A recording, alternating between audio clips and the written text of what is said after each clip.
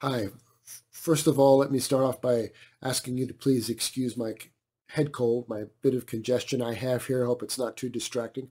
Um, I am being attacked um, by a group of people who um, challenge my position on the two witnesses. Not that it's an ultra critical thing, but um, I'm told I'm being mean because I disagree with the position that the two witnesses start the ministry way before the tribulation and that they are done at the very first part of the um, tribulation.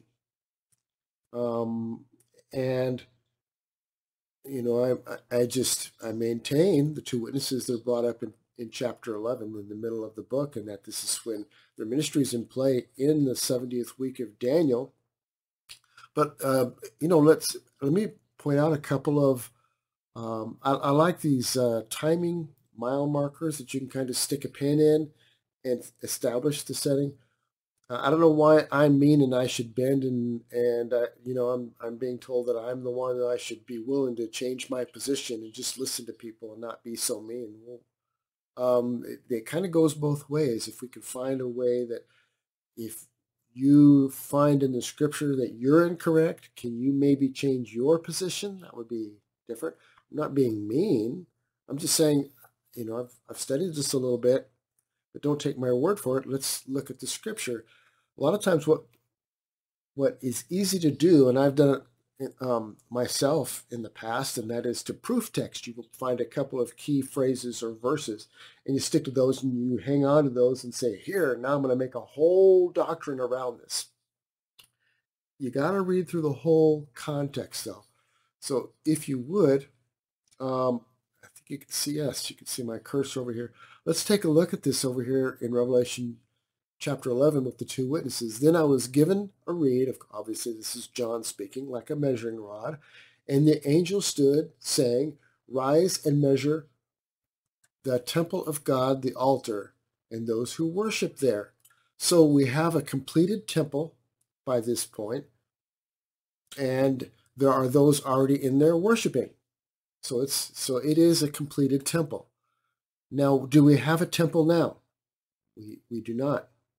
Yet I'm, I'm told that you know the the uh, two witnesses are going to be revealed um, next year or something, and that they're all, they are already going to start their ministry, and they're going to be done, and they're going to be killed right at the beginning of the of the uh, tribulation. So, um, but the thing of it is, is that the verse, the context itself, what John is writing here, the two witnesses are, are concerning the temple. I mean, he starts off with the temple. So the temple's got to be there. It's got to be built. Now, I, I wrote um, to some experts. I wrote to, um, it was the um, Temple Mount people over there in Israel. And I asked them about the temple and how long it would take to build. And one guy responded that it would take, you know, at least 18 months, 18, 19 months to construct it from the time that they're given the go-ahead. So we know that the um, Antichrist um, is not revealed until we're out of the way. The Antichrist is revealed later. We're looking for Christ. We're not looking for Antichrist, right? Otherwise, we'd be given this as a sign is that, hey, when you see Antichrist come up, boy, you know, rapture is going to happen real soon. No, we don't get that. We get, we're watching for Christ. The Antichrist is revealed later. Um, some of the passages that reveal that, for instance, among those would be the verses in Second Thessalonians chapter 2.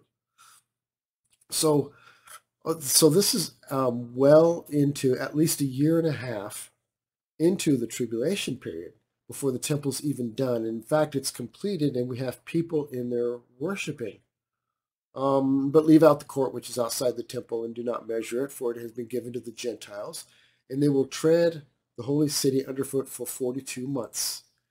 And I will give power to my two witnesses, and they will prophesy for 1,260 days clothed in sackcloth. Now, we don't know exactly, you know, um, beginning the end of their ministry, but they can't be dead by the beginning of the tribulation if you don't even have temple yet. And that's kind of my point.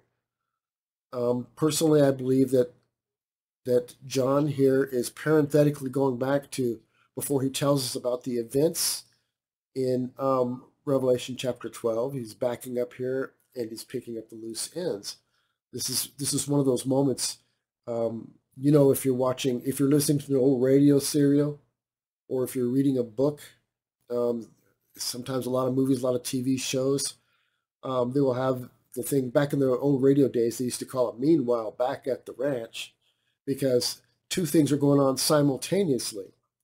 So before you can see that, uh, you know, the Lone Ranger and Tonto, um, you know, that uh, the Lone Ranger is getting ready to do something and um, he's got to be rescued by Tonto. You got to back up and show what Tonto has been doing and how Tonto is setting things up and getting an extra horse and getting a couple, rounding up a couple men to go help him save the Lone Ranger or something. So it backs up and shows you how he's doing all this so that by the time you get to the Lone Ranger scene, these are happening and you bring them together simultaneously because you can't show both events at the same time in a in a book or in a radio program. Nowadays, some TV shows like the old TV series um, 24, you'd see Jack Bauer and you'd have you know multiple um, miniature screens on the TV at the same time. So you'd see some guy here arming a bomb down here, and you see Jack Bauer um, you know, struggling to get the ropes off his wrist, and then you'd have another screen maybe up here and it shows the president in the White House, and Jack Bauer's got to get. So you'd show them all three things going on at once. So you'd do that maybe sometimes, but when you have written text, you have to go back. These are parenthetical chapters, and these are chapters that you know are parentheses. So John here is going back, and he's got to bring us up to speed with the temple and what's going on in the temple, because in chapter twelve he's getting ready to go into temple and some of the temple stuff that happens and the people who go in there and worship, the Jews, and the two witnesses and some of those events.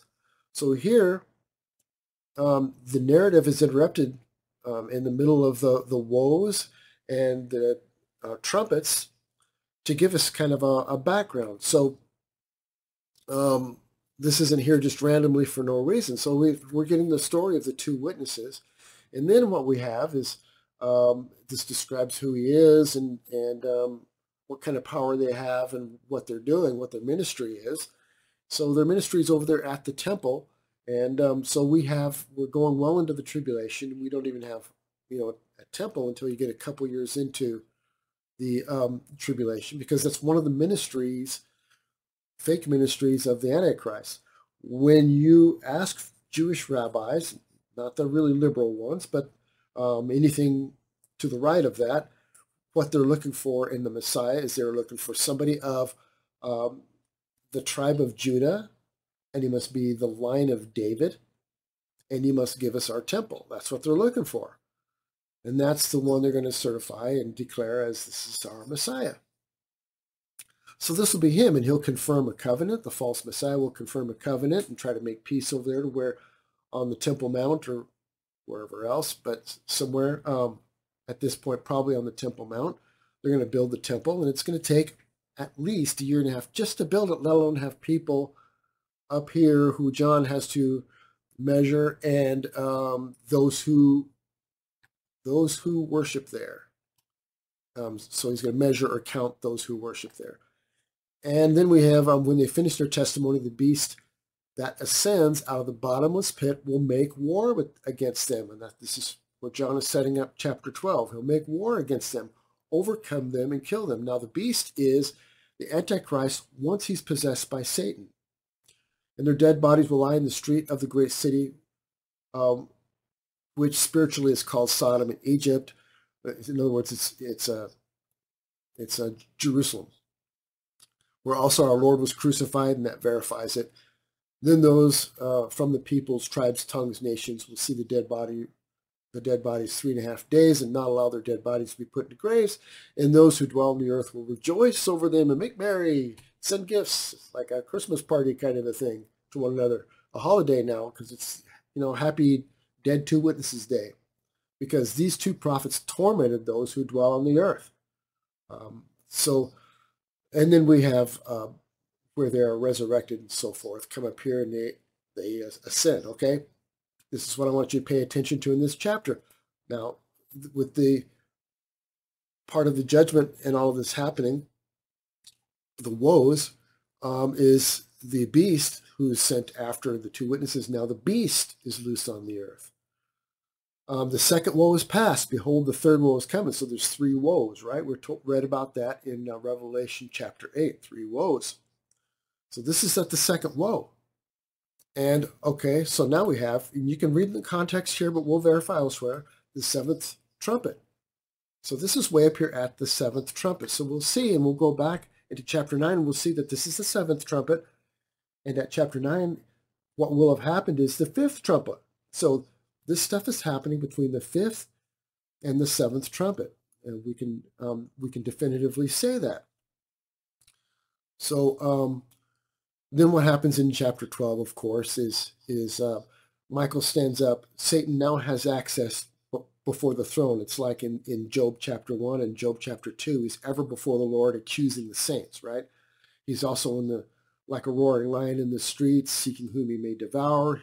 He's the God of this age, the prince of the power of the air. These are terms the scriptures use because the world is under a curse right now. So it's kind of Satan's domain but he's always before the throne. He's got access to accuse, just like he did Job.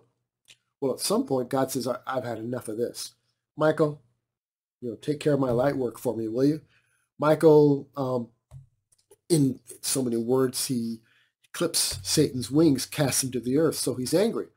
And we know that Satan does, and this is all in Revelation. If you have questions about this, we, you know, and you can't find it, let me know, and I'll post it. But uh, Satan enters Antichrist, and that's where Antichrist at that point, he's been around for three and a half years, but that's where he becomes the beast. Just like um, Judas was possessed by Satan, Antichrist is now possessed by Satan. He becomes the beast, starts the scorched earth policy. One of the first things he does is here, the beast comes in and kills the two witnesses. He and the false prophet go into the temple. They desecrate the temple. They cause the sacrifices to cease. And he starts, you know, like a wrecking ball, ball um, trampling underfoot the temple, the temple ground, Jerusalem, everything. And uh, start even starts wiping out the Antichrist's old um, global system. Starts turning on everybody at scorched earth, and even the, the religious system, even the beast system. But he's going to establish first is um, 666, the mark of the beast, all that stuff happens right in the middle of the tribulation. So here we've got middle of the tribulation stuff. All right, so let me back it up here. Angel with the little book, that's another parenthetical. and then chapter 9. So here's the fifth trumpet, locusts from the bottomless pit. These are demonic creatures who um, evidently can tell who's, you know, who's got a mark and who isn't, and they're not allowed to hurt the ones who have a mark on their forehead. So like the 144,000, um, you know, the believers at the time will have, um, you know, mark for the Lord on their head. And it's interesting because um, we have the Lord, um, Yahweh, and it starts with a yod, which is a little tiny, it's the smallest mark. And I don't know, it might be on the side, who knows where it is, but the mark on the forehead, the 144,000. Well, we also have believers are going to have um, the name of, of um, Jesus on their forehead, the, letter which is Yeshua. So it starts with a yod. So both of them starts with, so there's going to be a mark, the Son and the Father, um, Yah, uh, Yahweh on folks' foreheads, Yeshua, um, or Yahashua, depending on how you want to pronounce it. Don't matter. So anyway, we've got the bottomless pit, um, and um, so we've got this going on. Um, here's the sixth trumpet. So we got the fifth and the sixth trumpet. But notice this about the creatures that are loosed. One woe is past. Behold, two more still after this. So, so here we are at the fifth trumpet is one woe. And then where the two witnesses are and the beast is unleashed, unleashed upon the earth, that's the second woe. So that is one full woe in advance. It's the second woe where you have the two witnesses. Okay? This isn't me. This is Bible. And that's what it says. So we look at little mile markers like that that we can check off, and this is what you do. You look and say, okay, the second woe is past. And you go, well, wait a minute. When are the woes? Are the woes right away? When are the woes? Well, we can stick a pin in when those woes are, and we can verify it by going back and, well, how far back was the first woe? And this is what we've just done. The first woe, one woe is passed. That was the fifth trumpet. Before you had the fifth trumpet, you had the first, second, third, fourth trumpet, uh, uh, many events, and that took some time. And then you had all the seal judgments. So all the seal judgments have to happen, and one fourth of the earth is destroyed. So in the seal judgments, you got one fourth of the earth, one fourth of the population are destroyed. By the time you get into the trumpets, another one third of what's left is destroyed. So in terms of population, the seal judgments, you've got like 2 billion people are going to have to be killed in the seals. That's crazy. And then one third of what's left is another 2 billion, if you do the math, um, in the trumpets. So we are well into the tribulation for the two witnesses. So this is Bible. It's not me. I'm not just making it up and theorizing and just guessing. Okay. So um, any other questions or challenges, I'm willing to entertain them. But um, please don't tell me I'm being mean and I'm rude and whatever if I'm just telling you the truth. I'm, You know, telling you Scripture says you just got to get to the Bible and read it. Be the Berean, study and, and prove me. That's fine. It's all well good. And that's what you should do. But can I not do the same with you and say, no, whoa, whoa, wait a minute here. That's not what I've read. Am I not allowed to do that? Um, I think I am. In fact, I think we are all commanded to do that in love. But uh, that doesn't mean just because you tell somebody that that they're wrong or whatever that you're being mean because you tell them that no, that's not the way it is. That's not meanness. Um, I, I would say it's loving. All right. So um, I know there's a lot of pressure out there right now. People are really tense and excited, waiting, and and everybody's waiting and watching for the Lord. I think everybody probably on here is. Well, no, actually, no. There are quite a few trolls who pop on here and say there is no rapture. So, you, yeah, uh, we had a, somebody clearly an atheist got on the, here the other day and talking about you guys need to find a new fairy tale and this kind of stuff, you know. So, um, you, you do have that. But anyway, I know everybody's tense. Everybody's wound up. We're all excited, but we need to be loving and be patient with one another. Okay, and um, just take some time, take a breath, listen to some praise music, and um, pray. Seek the Lord. God bless.